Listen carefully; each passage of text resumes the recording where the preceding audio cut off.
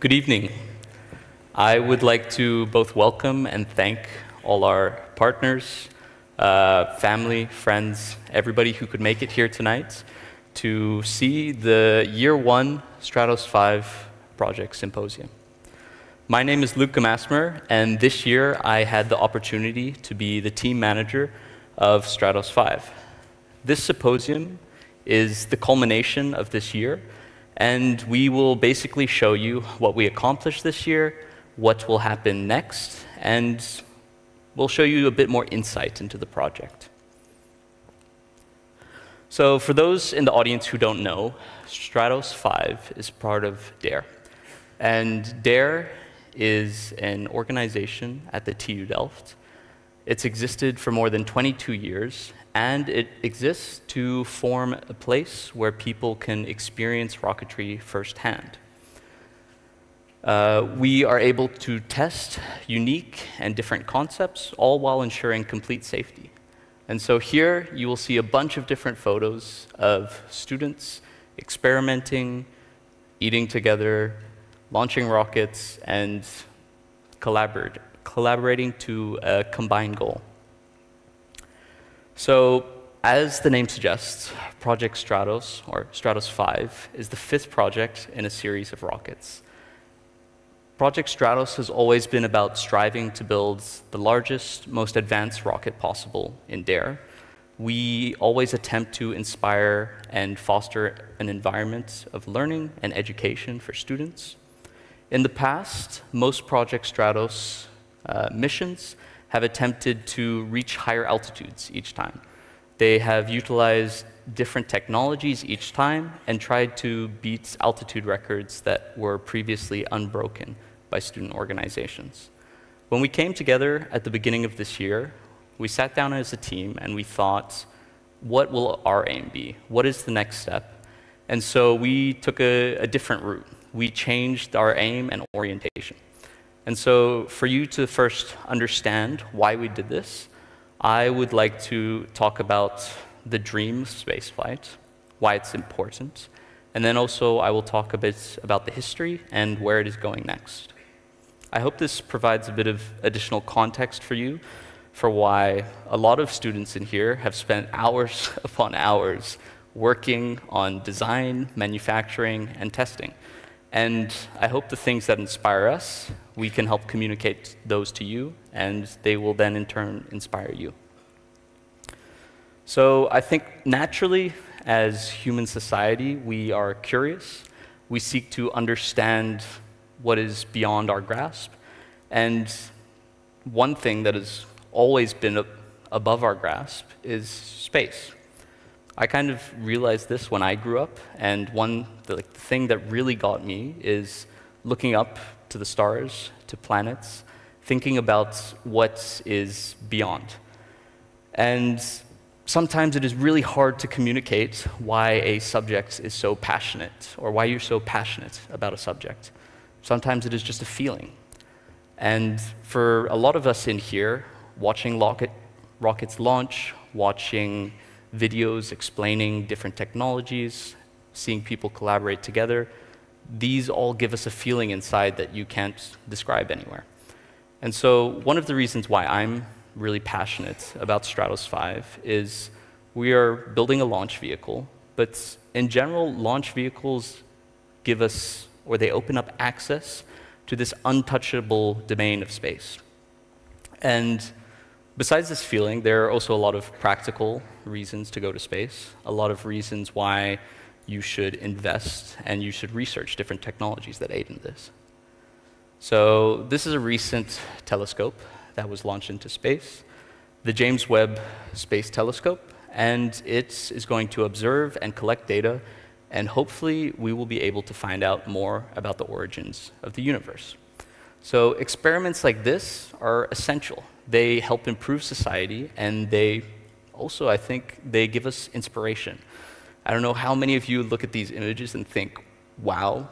I mean, this image to the, to my right is, uh, it's quite an amazing image, and it's something that most would have, if you see it, you can't really explain what it is, but the colors, the lights, I think it is very inspirational, and for me, it's, it, gets my heart going. Um, another thing that is quite important lately would be space constellations and telecommunication systems. So lately, we have lots of small satellites that are sent up, and they are connected in an array or a network. And these can gather vast amounts of data. They improve how society operates. And with this data, we can become more efficient. So an example of this is Starlink. And Starlink has helped basically provide access to information, and it really helps to democratize many areas of society. The more information people have, the more they are able to prosper. And finally, I would like to talk about satellites that help us understand how the environment is changing. So nowadays, we have satellites that look at the atmosphere, river basins, polar ice caps, pollution, and much more all of these missions have an unimaginable effect on human society.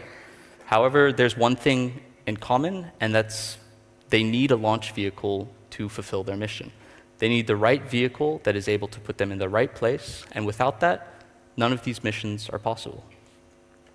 So, in addition to the importance of space, I would like to take you guys on a journey and talk a bit about the history.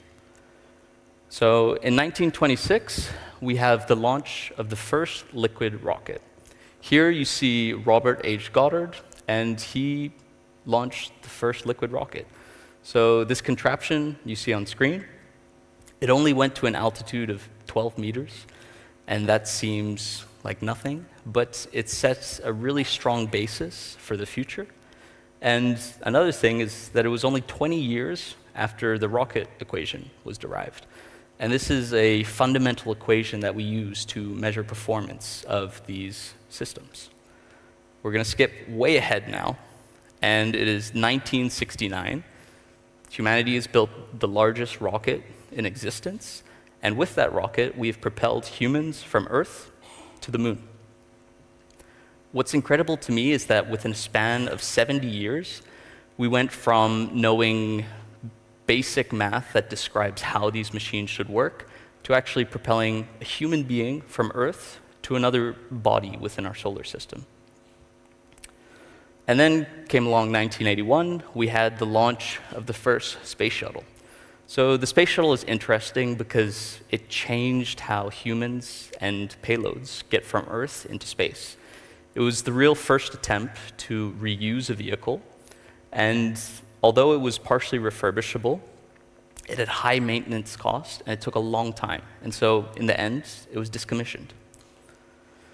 And now we come to the present, right? Almost every major country and organization, as well as company, has large launch vehicles.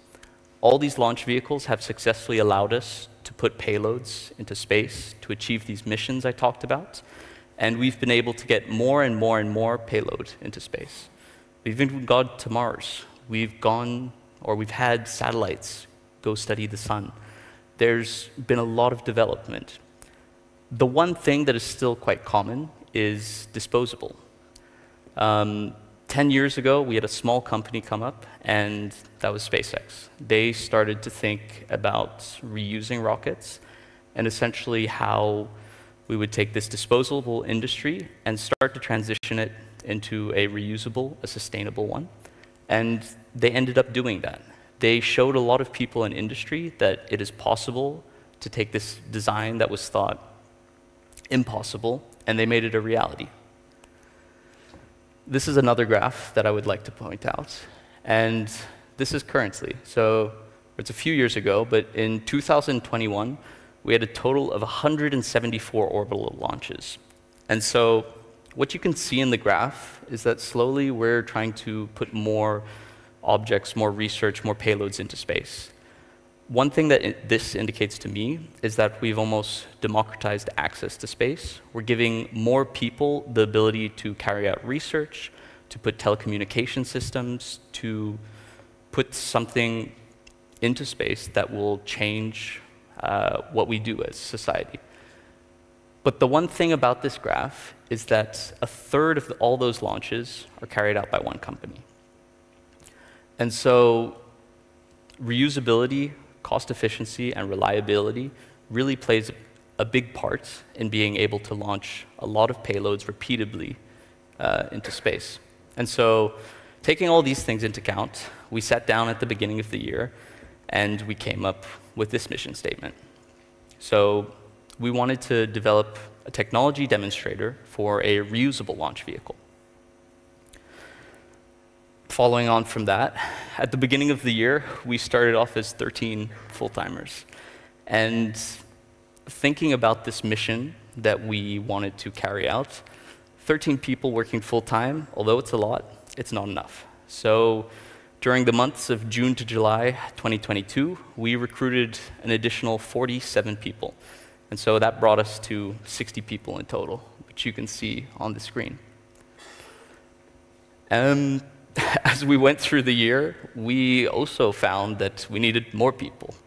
Um, even with a group of 60 people, the task we had set out to do, it required more people, more engineers, more people to interact with partners, all these different aspects. And so we recruited more, and in the end, we were a group of over 70 students. And that's a massive group, in my opinion. After we had gone through this recruiting process, we began the year of designing. And what we had at the beginning of this was an engine. However, it's no trivial matter that we had just an engine. Engine development takes a significant amount of time typically. Sometimes it can be up to 10 to 15 years. And what was even more fascinating was that this engine was the first in the Netherlands and for many student organizations around the world. So we started off with an engine and a team. What came next? So a lot of the initial months were team bonding, figuring out how to work efficiently, how you work in a dynamic group, and how we take all these different opinions and backgrounds and we bring them together to make one cohesive team. After that, we started looking at project planning.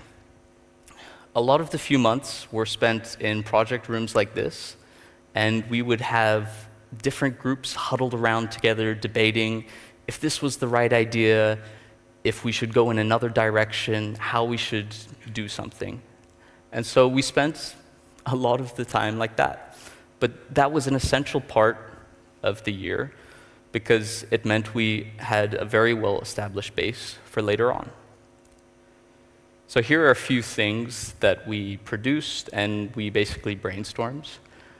We did everything from how the structure of the team should be, so looking at which departments we should have, how management would work, how the interactions with the full-timers and part-timers would work.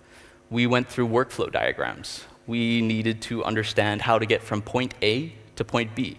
And it may seem very simple, but there are a lot of steps involved in between, and if you brainstorm them at the beginning, it'll be much smoother afterwards. And after that, we also looked at inspiration. So we looked at industry, we looked at past examples of rockets, we looked at past Stratos missions, and we thought, what did they do, and how can we make it better? And so all this project planning led us to turn what we thought would be a year into Stratos 5 being a three-year project. Each year with having, having distinct teams and kind of a distinct goal or mission in mind. So 2023 was the first year of the project. We focused on a lot of design, a lot of high-level project planning, and by the end, we also worked on some prototyping. So there are many novel systems that we hope to use in Stratos 5, and it was really important that we already start designing them and we start testing them from the beginning. Year two will focus on manufacturing, testing, and further iteration. They will take a lot of the systems that we initially designed, they will test them.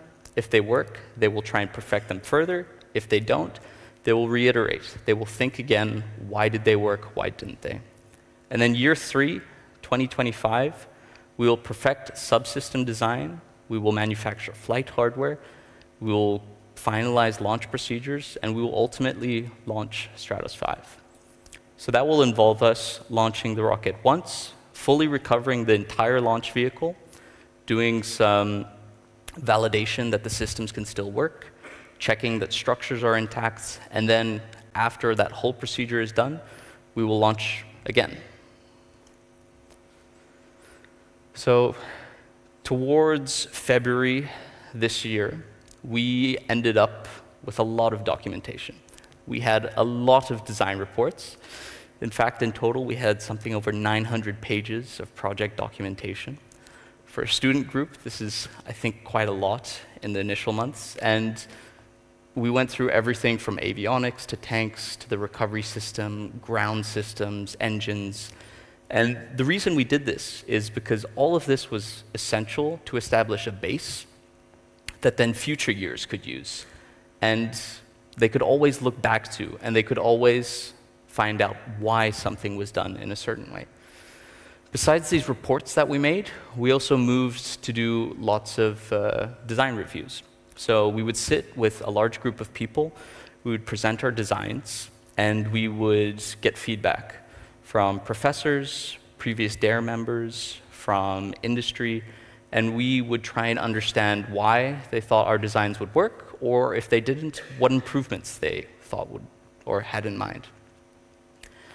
And finally, in the last three to four months of the year, we really started to get into the prototyping phase. So we looked a lot into these novel concepts and how we would quickly raise the technology readiness level from something that had nothing been done or that had not been done in DARE before to something that would fly as a flight hardware on our system.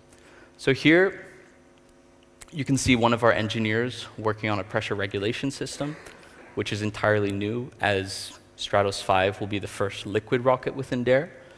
We have one of our engineers working on an engine control unit, which will control the engine. And finally, we have an image of us testing. This was done right here on campus, next to the aerospace faculty, and we're able to test a lot of smaller subsystems. So this is kind of how our year went, and I think everybody grew and learned a lot from it. Now I would like to invite Jan Straczynski, who is the chief engineer. He will talk a bit more about the rocket on a technical level. He will talk about how we approached designing a fully reusable rocket. And in the end, he will show you what the final product should look like.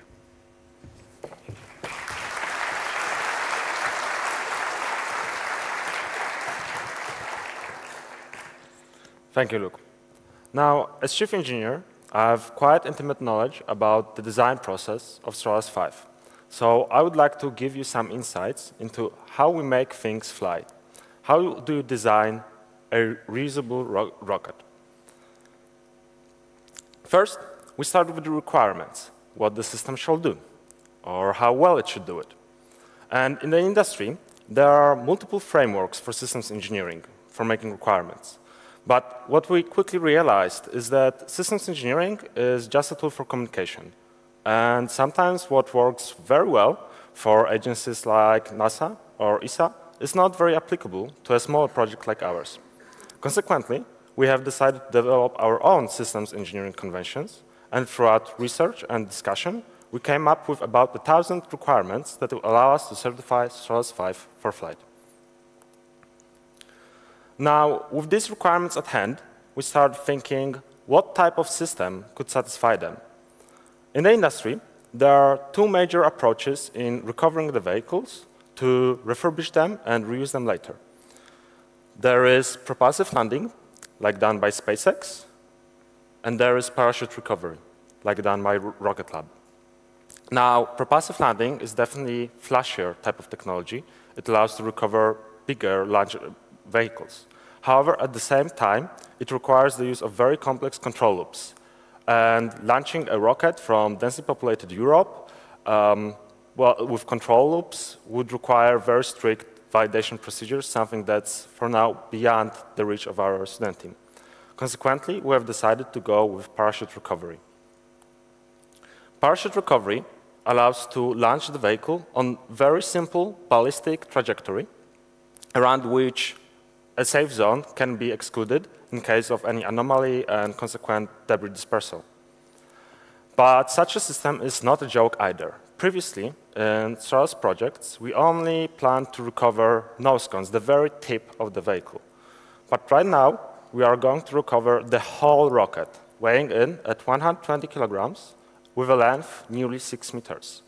And we couldn't find screen large enough, but this is how our parachute will look like. It is a bit underscaled.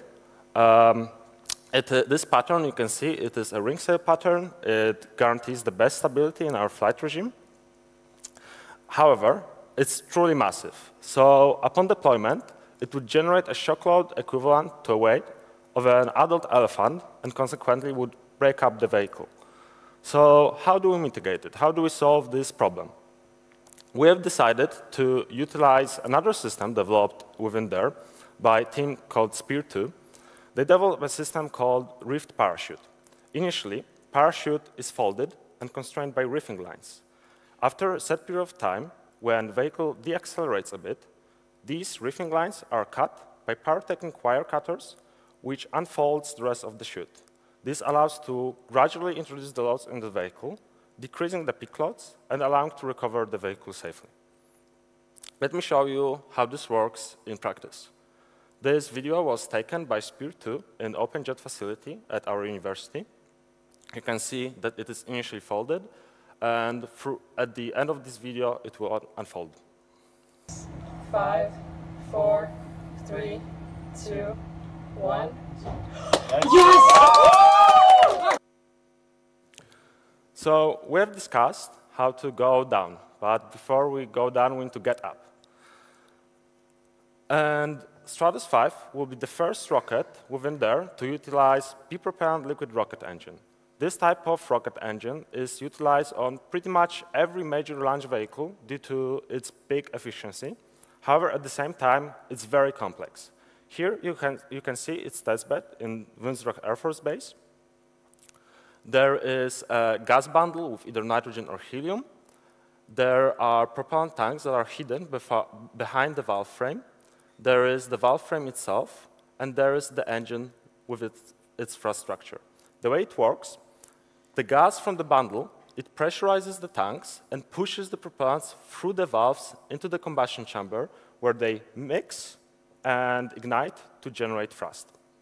Now, you can see it's a pretty massive system. It, it is the size of a decent truck. And now imagine we need to take this system and put it in a vehicle that's barely 30 centimeters wide. So how do we do it? We decided to develop our own cryogenic flight valves that are light and compact. They are fully manufactured at our faculty. And you can see it's, despite, of, despite that, it's pretty, pretty complex mechanism. At the same time, we are developing a new pressure regulation system that will allow us to achieve steadier pressures in the tanks and therefore enhancing the performance of the engine during flight. At the same time, the engine itself went through another iteration its expansion ratio is now more optimized for the altitudes we are aiming for, and its thrust structure is much lighter and much more compact than the one you could see on the photo before. You can see the engine, it is integrated with the flight valves that are connected to the flight tanks. The burn time of the engine is 23 seconds. During that time, it consumes almost 100 kilograms of propellant and storing them on board of the vehicle is the function of the flight tanks. In theory, they are just metal or composite high-pressure vessels storing fluids, which sounds pretty simple, right? But here's the thing. Manufacturing structures that large is a very daunting enterprise. And it's something that needs to be looked very early on in the design because it can heavily impact it. So imagine that after three months of initial sizing, we realized that our manufacture timeline is almost three times as much. It, it, it, was eight months. Consequently, and it's not feasible, right? Imagine that we need to go through another iteration. This is something that could delay the project by almost a year. Consequently, we have decided to slash our burn time by one-third, bringing the apogee from 50 to 25 kilometers. And it was a hard choice, but there are some benefits to it too. Firstly, we could decrease the diameter of the vehicle because we had less propellant on board. Now we can source stock in the right dimensions, which can be then manufactured by the 981st Squadron of the Royal Netherlands Air Force in the Woensdrecht base to create these complex shapes you can see on the screen. Furthermore, we now need less gas, less helium to feed the propellant tanks. There is now exactly one pressure vessel on the market that satisfies our requirements. And like I said, this type of trade-offs is often very difficult, but as a student team, you have very limited resources. You need to be very flexible when it comes to the performance of your system and very creative when it comes to finding cheap solutions. So we have all of these subsystems, structures, propulsion, recovery, but how are they actually controlled? This is the task of the engine control unit developed by our avionics team. Engine control unit allows to actuate valves placed in, at different positions within the rocket, and therefore it allows to start the flow of the propellants in the, into the combustion chamber where they are ignited to generate thrust. At the same time, they monitor different parameters of the vehicle, like pressure or temperature, that need to be within specific ranges if we want to launch the vehicle. And at the same time, engine control stores its parameters on black boxes for post-flight analysis. Once we ignite the engine, there's very little control over the rocket. We, on, we can only get telemetry from, uh, from downlink, and we can terminate thrust if needed. And it probably does sound quite dangerous launching a rocket filled with 100 kilograms of highly energetic propellants at three times speed of sound. However, here's the thing. We know exactly where our rocket is going thanks to, the, thanks to our simulations team, which is developing Parsec, new flight trajectory simulation tool, and which is developing workflows for analyzing aerodynamics and structural dynamics of our vehicle. This allows us to very accurately predict where the vehicle is going and to exclude a safe zone around it in case of any anomaly and debris dispersal. So we had all of these departments working very hard to be able to present to you tonight Stratos 5 design. This is how we hope it will look like once we manufacture it and during recovery phase of the mission. So you can see now that the last year was fairly busy for us. The next year will be even busier. This is something Stefan, the next team manager, can tell you more about. But first, let's see what current team thinks about the project that they dedicated so much time and effort to.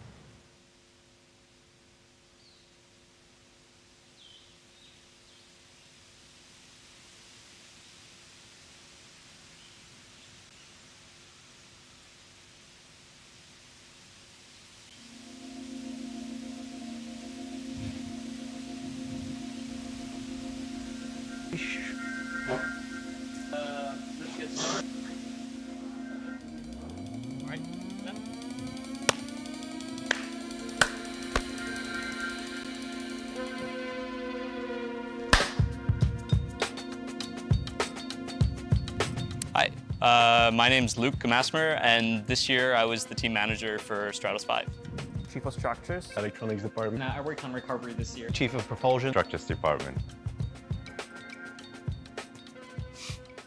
Project Stratos is a student initiative from the TU Delft, uh, from a group called Delft Aerospace Rocket Engineering. The main goal really is to reuse a rocket. So we want to show students and industry that reusable rockets are achievable, they're feasible, and if they can be done by students, they, they need to be done by industry.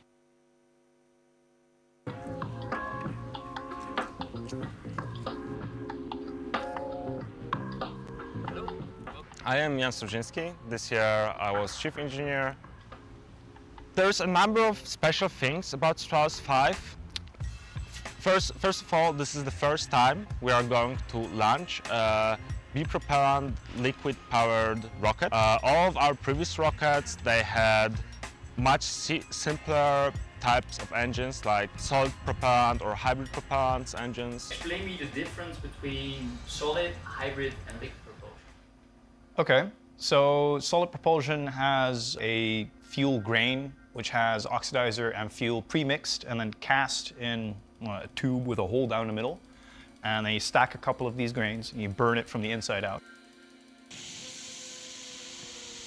Liquid fueled engines have, well, liquid fuel. Uh, just inject the, uh, inject the two, uh, mix it, spark it, and then it burns, and then uh, I get something that looks like, eh, something that looks like this, comes out the hot end. With hybrids, here, well, right in the center, that's why they call it a hybrid. Uh, you have a solid fuel, again, cast into a grain with a hole down the. And you inject an oxidizer from the top, and, well, that burns with the solid fuel. The advantage of a liquid-fueled engine over a hybrid engine is primarily efficiency. Uh, the fuels that you can use in these uh, can push to way higher efficiencies, so you just get more oomph uh, per kilogram of propellant, which, well, you really want in rockets because every gram counts. Uh, secondly, this is also the first time we'll recover almost like the rocket that's that big. It, it's 120 kilograms of dry mass, and the recovery system involved is uh, yeah, quite cutting edge. Hello, my name is Nachiket Dige, and last year I was in the recovery department of Stratos 5 as a part-timer. So recovery is really important in any launch vehicle. Recovery is a set of functions that determines how exactly a rocket is going to land safely back on the ground. So Stratos 5 has a very special place for recovery in itself. It's going to be one of the first um, rockets off, of the main flagship Strate that is going to be fully recovered. So compared to uh, earlier rockets, uh, we want to recover the entire thing. So that means you need to have basically bigger of everything, which uh, makes it harder, but also the package things inside of the rocket becomes more complicated. Uh, diameter will be roughly five meters. So we have a really special initial decelerator called a ballute. A ballute is a hybrid between a parachute and a balloon. These are our main parachutes. These are some examples, but the one we hope to at least fly in Stratos 5 is actually going to look a little bit like this. It's got a lot of little bits of cloth. These are called ring sails because they're just, um, well, multiple rings of sails. And I think a ring sail, at least in the past, if you've seen Apollo missions as well, uh, they've used they've opted for ring sails for well its drag efficiency. So that's why we've opted to use them instead of say previous designs such as in Stratos 4 or Stratos 3. So one of my favorite moments of uh, of last year was manufacturing our ballute with uh, with the rest of the recovery team. It's always nice to see uh, what you have uh, designed and analyzed for such a long period of time come to come to life. So there's a lot of novel technologies uh, involved. And I think what's special about this project is that it takes these different technologies, different teams in there were working on throughout the years, and then it combines them together into one project, one, one system. We are a team of full-time engineers, so people who dedicate themselves for the entire year, nine to five, maybe even more. And we're a team of even larger part-time engineers. We're in total like something 80 engineers right now. So it's a, it's a massive team. Successful team pictures, right? Right? Yes, Successful team successful. Nice. The start of the documentary. Start of the documentary. And so at the beginning of, of the year, I was really anxious. I was afraid that I'm gonna waste the potential uh, of my engineers because the role of chief chief of structures, chief of the department was new to me.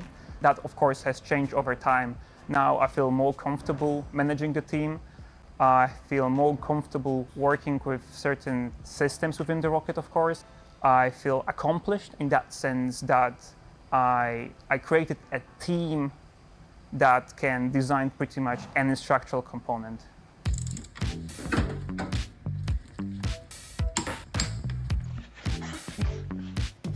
Okay, so this is the thrust structure we built this year. And uh, yeah, as you can see, it has been tested and all of the beams are quite bent. But yeah, this was, I guess, the main achievement of myself this year, uh, that we um, had a big production crew who manufactured this and then tested it in the aircraft hall. The, the moment that I will remember for a long time is uh, the compression test of the thrust structure. Because I started working on it uh, like during, during the winter period.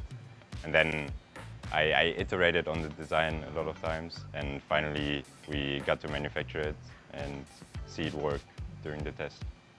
The moment or the experience that will forever stay with me is going to Bremen for the Space Tech Expo. Uh, to, with us, we wanted to take Stratos 4 and I was responsible for actually assembling the rocket after, after laying for two years in the basement. It's a challenge to actually find all the, all the components, assemble the rocket here on, on campus, and then transport it to Bremen. Hello. Uh, so my name is Kubra and I worked as a part-timer at the structure department. Uh, I think one thing I achieved was first of all uh, work with different type of people because I'm doing the masters. I was one, at one hand involved with a bachelor. Another thing is you have to convince co companies in order to build something for you. So you have to come up with a good speed, explain to them what you did in the design and so on. So I think that was also quite interesting experience. One of the uh, things that is really memorable to me, it's maybe not very directly connected to the technicalities, but once we had like a meeting with uh, Airborne in their, yeah, in their facility, and we had a nice talk, like we presented everything we had and they were on board on helping us with manufacturing the IVS. And on our way back to the faculty, we dropped by the IKEA, took like a lot of hot dogs and brought that back to the team. And that was like one thing that I wouldn't forget easily. So I have to really think about my favorite machine because there are a lot of machines I really like. Um, maybe the tensile bench, that's a nice machine. The unique project to me is, is the people that I'm working with. Uh, as I said, we, we, we had, and I had the chance to work with very knowledgeable, amazing people. And I think we can always design the hardware for a group of engineers, but designing a hardware and having fun on the way, uh, that's something that's something new, honestly. oh man, I love all aluminium alloys, but my favorite one, I think, would be aluminium copper one, 2219. It's aluminium alloys frequently used in space missions. It has excellent mechanical properties. It works fantastically in cryogenic environments. And lastly, and most importantly, it's easily weldable. you had out. For me, the biggest challenge I faced this year was definitely going into a role that I had no experience in. At the beginning of the year, I think we were all quite scared. We, yeah, we didn't know much. It was a new project. We had to transition from a technology development project all the way to a full rocket development project. Develop a, a lot of methods or kind of tools to successfully get this project off the ground. What's amazing is that you take this break in your studies and you get to do this full time for a year. And like the recipe to a successful skill is just practice. And so when you're spending 24 hours a day, maybe not, you know, we don't work that uh, intensely, but we work hard at what we do. And when you consistently do that for a whole year, by the end of it, you're, you're really experts in what you do. The proudest moment of this year was when we hot fired our engine. Uh, looks like this. It's not this exact one. The nice one is strapped away in a box, but seeing that thing come to life again uh, was, uh, was a very nice moment. Favorite moment? That's really tough. I think the first hot fire we did, uh, since I was allowed to press the button, it was really exciting and I was really nervous for it. But it was really cool afterwards when everything went successfully. Uh, it was amazing, the feeling.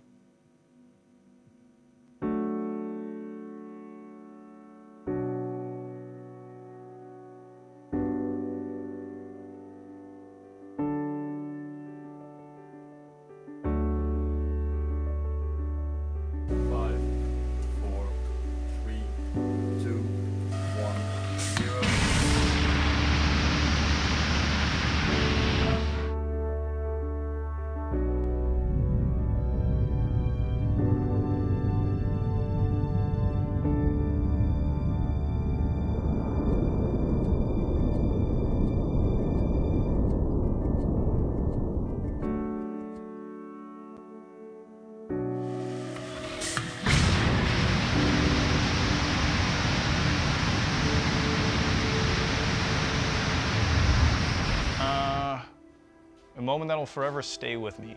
Probably long nights before testing and the tests themselves afterwards, uh, particularly the hot fires. Those are the, the amount of work they put into it and then the payoff, even though it's two or seven seconds long, it's totally worth it. It's great.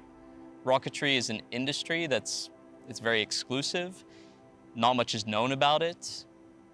I mean, it's really hard to get into. And so if you already have engineers that have had experience building rockets for three years, they're going to come quickly into your company and they're going to be the leaders of the next big company. They're going to be the next big engineers. They're, they're going to really revolutionize uh, the space. And I really can't wait to see what my colleagues and my teammates all get up to in five years because I reckon you're going to see them at a lot of big companies and they're going to be working on the next big thing. So Stratos 5 has two more years left and come the summer of 2025, this rocket will launch and I can't wait to see it.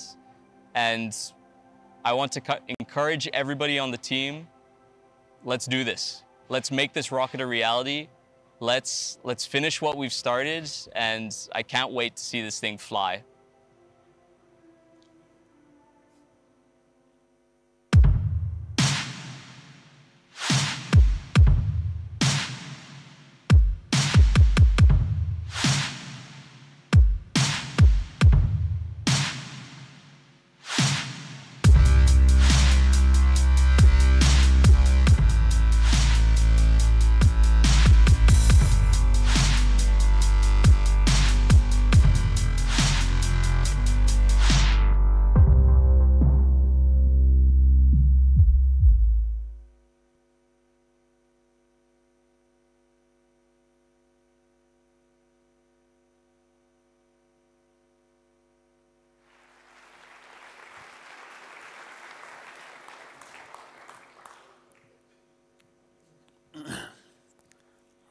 Found that as cool and as inspirational that I did. Let me introduce myself. My name is Stefan, Stefan Yorujo, to be precise. Uh, and I'm honored to be the new team manager of, uh, of Stratos 5. My first contact with the team was actually in a lecture in the Faculty of Aerospace Engineering. I saw a bunch of uh, Stratos 5 t-shirts huddled up in one corner of the, of the, of the lecture hall. And uh, to my surprise, they, they were focused on their project rather than taking notes of, no- notes of the lecture. and uh, without judging their academic in- interest, of, of course, I, uh, I was more impressed than intrigued with that kind of dedication to that project. Now, fast forward a few months, I'm happy to say that it will be my duty to uh, support and to facilitate this dedicated and sorry, enthusiastic team of engineers. I would like to encourage all of us to support the idea and the, uh, the joint effort in obtaining the objective of creating a reusable launch vehicle. To recap the past year, that year entailed a lot of organization,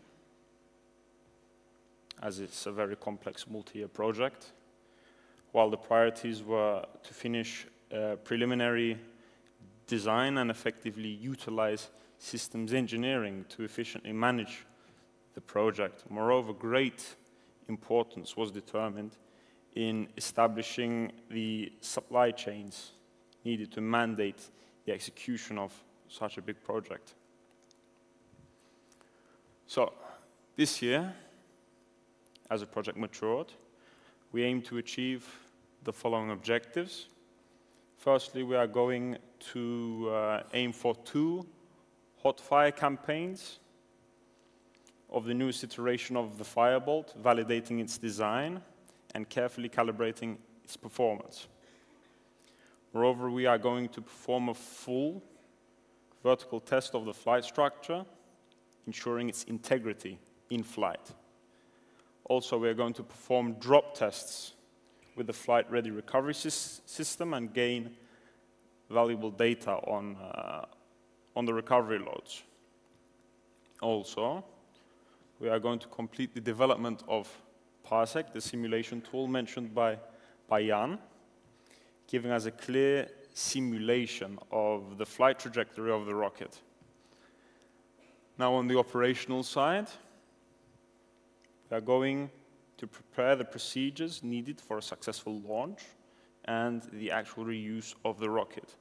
And most, most importantly, we are going to perform a complete integration test from the propellant tanks to the feed, feed, feed systems and avionics. Quite a lot of work, don't you think? I think so too. But I also think that together we've overcome all the obstacles that we faced last year and together building on our strengths and your support, we will overcome all of this year's challenges as well. And together we will continue the legacy of Project Stratos to launch a rocket to inspire a generation of reusable rocketry. Here, you see the culmination of the Stratos pro projects that advance our understanding of rocketry over the years.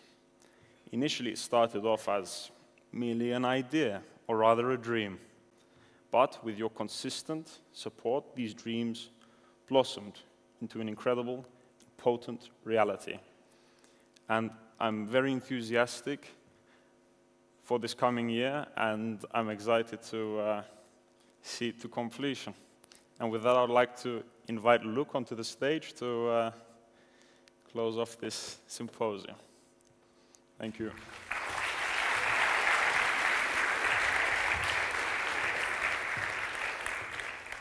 Thank you, Stefan. And in order to close the or the symposium, I would like to mention everybody here. Without all your support, without your help, none of this is possible. And throughout the year, we have developed connections like no other, and truly without these connections, this project would never get off the ground. And one of our teammates, Sebastian Velters, the external relations manager for this year. Unfortunately, he is not here right now to say any words. He's off in the US right now doing his exchange. But we have arranged a video where he gives a few quick words, and I would like to show that to you now.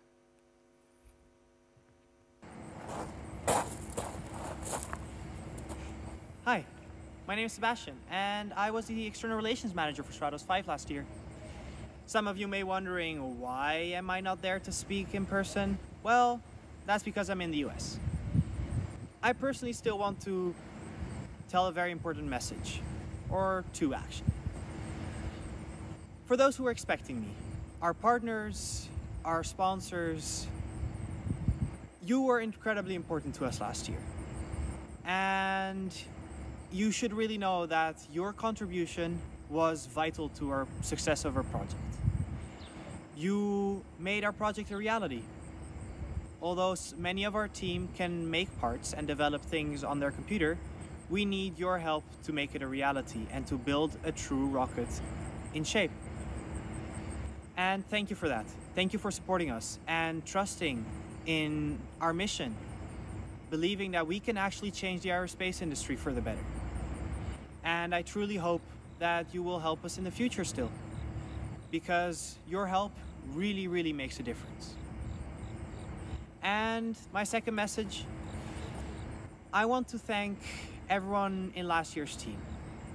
You created a family for me. You are the reason why I can call many of you friends, or brothers, or sisters. Just the experience I had last year were incredible, and I will always cherish these experiences and these moments. Thank you.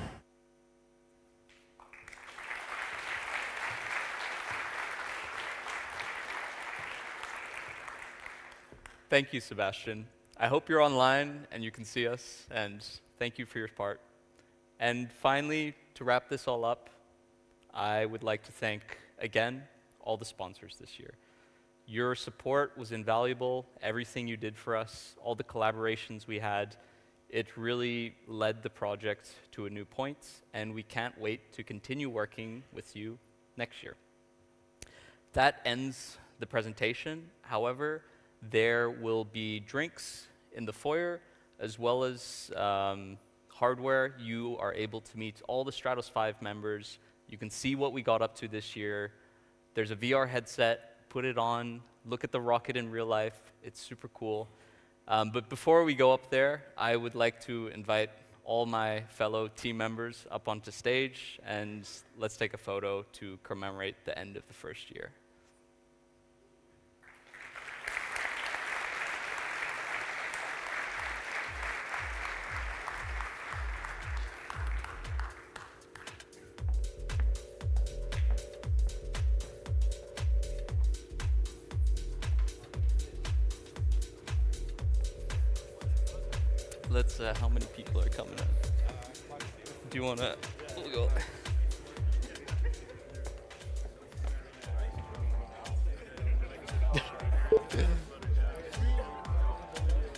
I know, it's amazing, huh? Uh,